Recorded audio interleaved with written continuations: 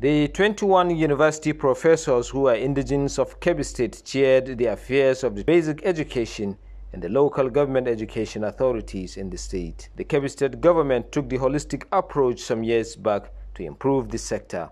Governor Abubakar Atiku Bagudu lauded the remarkable effort and commitment of the professors to revitalize the local education authorities in the state. Your courage stands out, and I'm sure today we are all the better for it It was not done for that reason.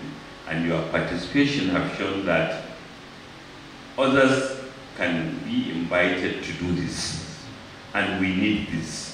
The governor equally drew the attention of well-meaning individuals that there is always a room for them to support the state educational sector, adding that the sector is in need of all the assistance it could get to improve. The delegation led by Professor Khalid Suleiman, the state universal basic education chairman, and Professor Abubakar Abdullahi Bagudo emphasized that the initiative is yielding positive results.